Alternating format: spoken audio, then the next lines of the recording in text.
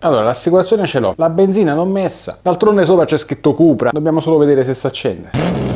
Non male ragazzi, non male. Ciao ragazzi e bentornati ad una nuova recensione qui sul mio canale. Oggi parliamo di Bela Cupra V2 e per chi non lo sapesse Cupra è un brand automobilistico che è presentissimo nel padel, tanto da arrivare anche sulla racchetta di Bela Steghin. Chiaramente Cupra è anche sponsor di Bela Steghin ma di diversi atleti, nonché di tantissimi tornei in giro. Ed anzi ne approfitto, Cupra se vuoi sponsorizzare anche me ne possiamo parlare. Tornando a lei, Bela Cupra V2. Come potete vedere lei ha esattamente la la stessa forma di Bela Pro, Bela Elite in sostanza, ma ha delle caratteristiche un poco diverse. In teoria lei nasce dalla Bela Elite ma gioca un filino diversamente, non è esattamente un'elite. Della elite in sostanza è il nucleo, quindi molto simile al concetto anche della bella LT che a me era molto piaciuta, anche se è un filino leggerina per i miei gusti, però ben utilizzabile, racchetta sicuramente molto sensata per chi vuole essere molto veloce in campo. Lei potrebbe essere considerata, facciamo questa piccola anticipazione, come la sorella maggiore della bella LT. Perché definirla sorella minore della bella Pro secondo me è riduttivo, è una racchetta un po' diversa. Andiamo avanti con le specifiche. Carbonio 3K Primero, carbonio rigido, non è un carbonio elastico, Evasoft al suo interno, bilanciamento a 26 cm, misurato è un 25,8, quindi ci siamo in sostanza, con un peso di 365 grammi, chiaramente escluso il l'accetto. L'accetto che è simile a quello di Bella Pro, però ha un claim differente al di sopra. Infatti qui c'è scritto Inspiring the World from Barcelona, che è la sede di Cupra, non solo, ma anche la sede di Wilson Padel. E ragazzi, ragazzi presto vi vengo a trovare a Barcellona, a tutti e due. E in tutto ciò, diciamo, dalla scheda tecnica non è che si riesca a capire esattamente qual è la sua vera differenza rispetto alla Elite, ma la prima vera differenza, a parte l'estetica, ma ne parliamo tra poco, è la finitura che ha sulle facce. Ve la faccio vedere, eccola qui. Bella Cupra V2 ha una finitura diversa, come era accaduto anche per quanto riguarda Bella Cupra V1 rispetto alla Bella Elite, perché questa racchetta tende a dare più spin, ha una superficie maggiormente rugosa in sostanza ha un maggiore rilievo, che effettivamente fa un lavoro migliore. E quindi la bella da spin? Sì, ma non solo. Ad ogni modo, stesso manico grosso sempre di Wilson. Io ultimamente, diciamo su Wilson, tendo a togliere il grip e a montare due overgrip, anche se in realtà la mia scelta migliore sarebbe un grip più sottile. Poi vi dedicherò un video a tutte le soluzioni per ridurre il grip in caso di scelta. Tuttavia, con le sue caratteristiche, devo dire che il manico grosso non mi ha dato grossi grossi problemi. Però sulla dinamica ne parliamo tra poco. Voglio fare un cenno per quanto riguarda l'estetica. Secondo me lei è la bella più bella di tutte e ha un'estetica che secondo me ne vale la pena. Nonostante tutto, nonostante secondo me, nonostante sia un'edizione comunque speciale, sapete che ogni anno Wilson tira fuori la Bella Cupra come versione speciale della Bella, lei ha un prezzo più basso rispetto alle altre sorelle. Siamo a 320 euro. Ovviamente chiavi in mano e IPT esclusa, però già con un poco di sconto ragazzi in realtà si finisce ben sotto i 300 euro. E vale la pena allora comprare questa bella Cupra V2? Lo scopriamo subito, ma prima ovviamente iscrivetevi al canale, attivate la campanella delle notifiche e lasciate sempre un grande like a tutti i miei video qui su YouTube, ma anche su Instagram e TikTok dove vi invito a seguirmi sempre. Proprio in questi giorni vi ho portato dei contenuti dal Premier Padel di Roma e presto ve ne porterò degli altri da Premier Padel e VPT. Quindi seguitemi su tutti i social e sostenetemi. Bella Cupra V2, ma allora quanti cavalli c'ha sta racchetta? Questa è la domanda che tanti di voi si staranno ponendo. Ebbene, la cavalleria c'è. La cavalleria c'è, non è di quelle importantissime, ma è una racchetta che comunque ha una bella uscita di palla. Devo dire che le prime ore non mi era piaciuta. Nelle prime ore sembrava essere inerte, sembrava eh, non avere tanta spinta, poi in realtà si è sciolta. È una racchetta che comunque dimostra che il carbonio sulle facce il nucleo hanno bisogno di essere un po' rodati. E pian piano, conoscendola e pian piano che si scioglieva, onestamente ho trovato una racchetta che mm, mi piace particolarmente per come si usa. Eh, non per quello che pensate, perché per chi mi segue da tempo sa che io amo delle racchette tendenzialmente rigide, potenti, ok, più aggressive. Lei sì ha dei tratti di aggressività, ma non è una racchetta di quelle strapotenti, è una racchetta molto giusta secondo me nelle specifiche che porta. Sicuramente il carbonio è un carbonio comunque che tende a rigido, è un carbonio che fa sentire bene la palla appena si impatta, mentre il nucleo non lo posso definire veramente soft, secondo me è un medium soft dal punto di vista diciamo dell'impatto. Questo già fa capire che la racchetta un minimo di attivazione la vuole, quindi sicuramente non è sulla tipologia della Bella Pro, la Bella Pro sicuramente è più rigida, più pesante, più piena verso la testa, eh, lei ha un bilanciamento leggermente più basso che poi in realtà andando a vedere le specifiche reali neanche tantissimo, in realtà è il peso qui che è inferiore rispetto a quello della Bela. Eh, si sente un po' questa differenza, lei indubbiamente è più maneggevole, mi è piaciuta tantissimo dal fondo, voglio sottolineare tantissimo dal fondo perché si muove come un fulmine, trovo che sia il giusto upgrade rispetto ad una Bela LT in termini di sensazioni con un filo più di durezza generale, un filo più di corposità generale, quindi eh, Bella LT mi era piaciuta comunque tanto, forse le mancava appunto lì, lì mancava forse qualche cavallo, ecco, è una racchetta sicuramente da giocatore che vuole tanta velocità di braccio, entrare veloce sulla palla, ma che non pretende tantissima potenza, bensì vuole più l'uscita di palla. Lei si pone nel mezzo tra la LT e la Bela Pro in termini diciamo di comportamento. Puoi avere un po' quello, quindi con una certa leggerezza, puoi avere anche un po' qualcosa che ti permette di mettere braccio sulla palla e la ritengo molto completa. Dal fondo mi ha dato l'impressione di essere molto pronta in tante circostanze, soprattutto in questo periodo in cui arrivavo per esempio da un bel dolore al polso onestamente e quindi mi ha dato una grossa mano, una racchetta che ho utilizzato molto ultimamente perché comunque ripeto si muove bene, non la sento sul polso, la sento comunque agile, la sento giustamente concreta senza eccessi e l'ho apprezzata molto perché a parte accompagnarmi un po' in questo periodo appunto di dolori ma, ma soprattutto mi ha dato l'impressione di essere una racchetta molto pronta in tutte le situazioni. Dal fondo come dicevo mi è piaciuta tanto perché comunque è veloce, arriva sulla palla bene, comunque la senti bene perché il nucleo tende al soft, ma in realtà fuori hai un carbonio comunque più duro e quindi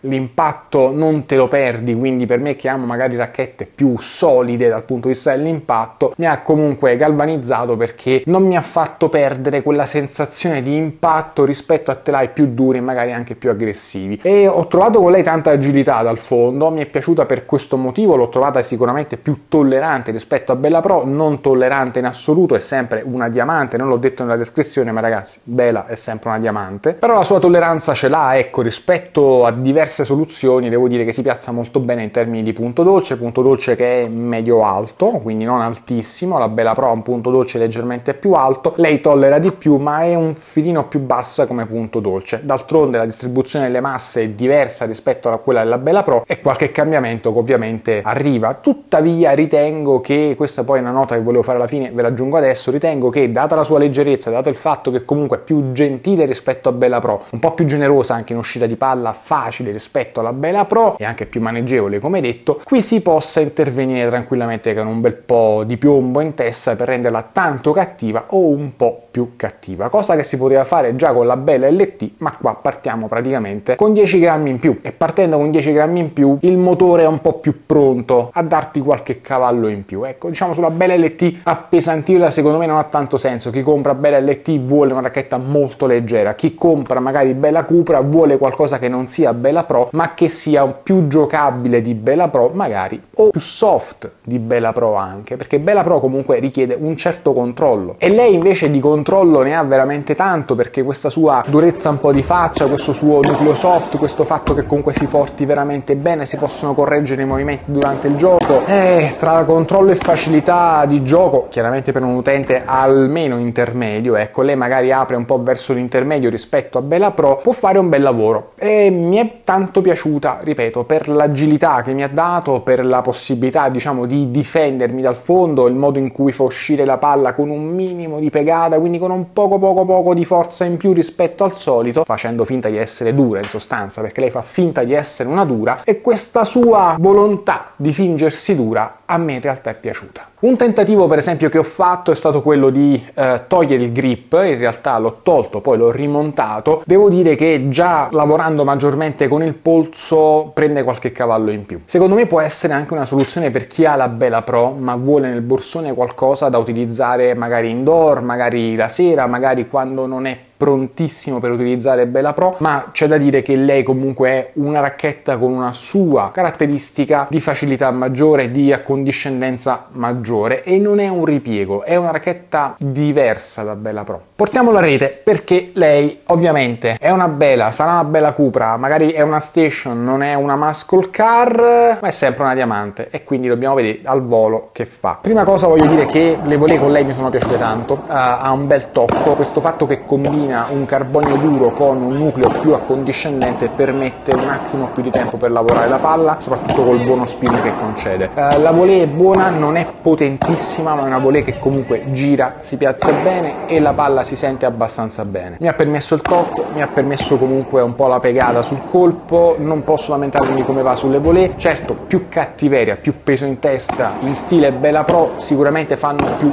danni, però lei mi ha dato una maggiore tranquillità nella gestione dei colpi al volo in generale rispetto alla Bella Pro che alle volte diciamo un po' di tempo te lo toglie perché devi prendere maggiormente le misure sui colpi che stai facendo. Lei qualche correzione te la permette, quindi minore potenza assoluta ma maggiore facilità sui colpi al volo in generale, ma soprattutto anche sulle volée. Vibora e Bandeca, non male, mi sono piaciute, eh, forse qui ho sentito un po' la mancanza di un poco di spinta, tuttavia lei va più sul lato controllo spin, con buona uscita di palla, attenzione, cioè la palla esce ed esce anche bene, sicuramente Bella Pro è un altro livello, però dal punto di vista della gestione generale del colpo che deve far male, che deve girare, accoacciarsi verso il vetro laterale, non posso dirle niente, perché lo spin è veramente molto buono, ehm, l'agilità è buona, la continuità che mi ha consentito sui colpi al volo sicuramente è interessante perché tanto tempo al volo non stanca. Anche qui diciamo il manico un po' grosso mi ha dato qualche noia alla lunga perché avrei preferito poter utilizzare maggiormente il polso, l'ho preferita ampiamente quando ho tolto il grip originale, ho montato due overgrip e allora lì ho potuto sfruttare un po' più di peso in testa, pochissimo, però soprattutto tanto più polso e lì sicuramente mi ha aumentata l'efficacia dei colpi al volo, così come Vibora e Bandeca, dove liberando il polso sicuramente ho sentito una maggiore potenza, quindi si è avvicinata un po' al concetto di Bella Pro, ecco, però non posso lamentarmi di come vanno sui colpi al volo, io per dovere di cronaca vi devo dire quello che trovo, su di lei ho trovato una bella uscita di palla, una buona potenza che comunque mi ha sempre consentito di giocare colpi efficaci. È una racchetta che ho utilizzato tanto, è una racchetta che sui colpi al volo come Vibora e Bandeca mi ha dato tanta fiducia. Questo è il termine secondo me che più deve accompagnare Bella Cupra V2, cioè fiducia sui colpi che vai a giocare, perché tra controllo, uscita di palla, anche quando la pesti un po', non ti dà mai l'impressione di essere difficile. Portiamola sullo smash.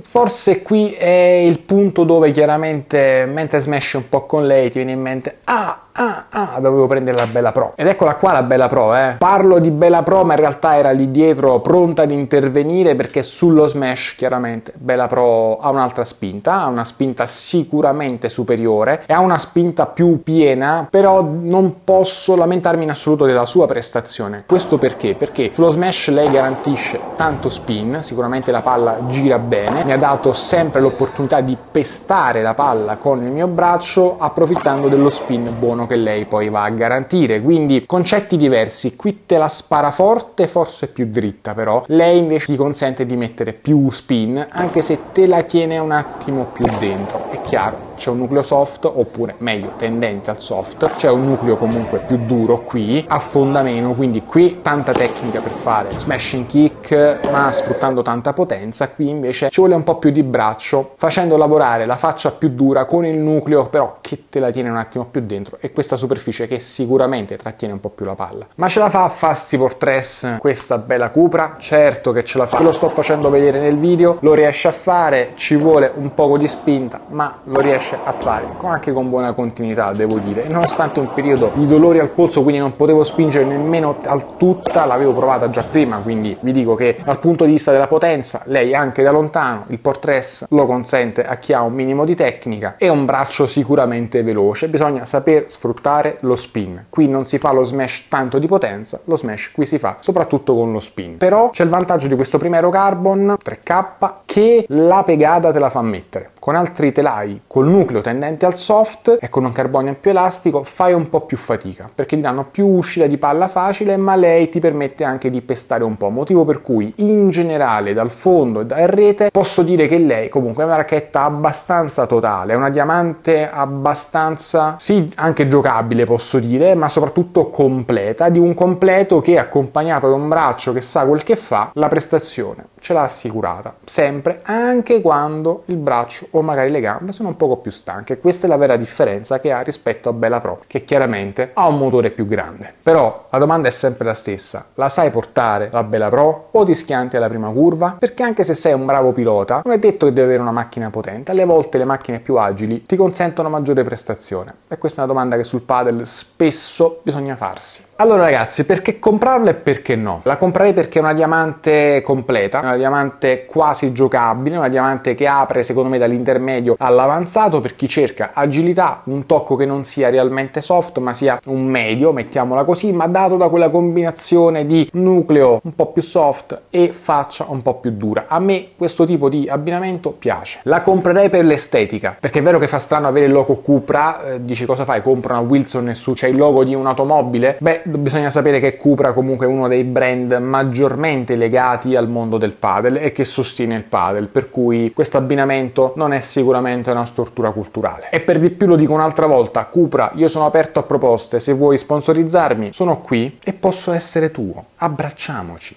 E voglio aggiungere anche che la comprerei anche rispetto alla Bella Pro, perché provata per tanto tempo, accompagnandomi per tanto tempo, anche magari con qualche doloretto addosso, eccetera, mi ha fatto capire che lei è una racchetta che può darti tanto nel lungo periodo. Azzardo a dire che la preferisco a Bella Pro perché ha dei tratti di maggiore giocabilità pur essendo una racchetta tecnica. Non la comprerei ovviamente se cercassi una Bella Pro, una racchetta da potenza assoluta. Per quello c'è la Bella Pro e non si discute, è più potente. Non la comprerei se cercassi una racchetta soft. Lei non è una racchetta soft, per quanto ci sia scritto soft vicino come nucleo, ma le sue facce sono di un primero carbon bello duro, quindi sostanziosa. Non la comprerei se cercassi un manico piccolo, se avessi una mano piccola in realtà, perché il manico Wilson è sempre generoso, molto tennistico, ci vanno bene gli amici tennisti come me, meno bene quelli che hanno magari una mano un po' più piccola, che sono costretti comunque a fare un intervento su questo grip. Io alla lunga comunque mi ci abituo, ma preferisco sempre togliere il grip originale e montare o qualcosa di più sottile perché il grip originale ha uno spessore di 2 mm ed è abbastanza ed è solido ecco. È piacevole tennisticamente ma padelisticamente preferirei una soluzione meno spessa non come base del manico ma come grip scelto. C'era quel bel sublime una volta Wilson era perfetto da 1.7 mm che dava quella misura giusta per usare un po' più il polso. Tocca mettere mano a portafogli 10 euro e si può risolvere. O altrimenti due overgrip o anche tre e poi via di Muñeca a spingere la palla. Bene ragazzi, io con lei, Bella Cupra V2 ho finito, mi è piaciuta tanto, l'ho detto tante volte, mi è piaciuta tanto, ma è assolutamente la verità. La sua giocabilità per essere una diamante mi ha colpito e mi ha affascinato. Detto ciò ragazzi, ovviamente iscrivetevi sempre al mio canale perché lo vedo che il 65% di voi ancora non è iscritto al mio canale. Cosa aspettate? La vostra iscrizione a questo canale che è sempre gratuita, ve lo ricordo ragazzi, e il vostro like a questo video, quindi lasciatelo sempre a questo e a tanti altri miei contenuti possono solo aiutarmi a far crescere questa community, questo mio lavoro e a farmi fare sempre di più e sempre meglio. E mi raccomando, sempre seguitemi su Instagram e TikTok, dove vi anticipo sempre tutti i contenuti e ve ne porto degli altri specifici per quei due social. Mi raccomando, vi aspetto. Ciao ragazzi,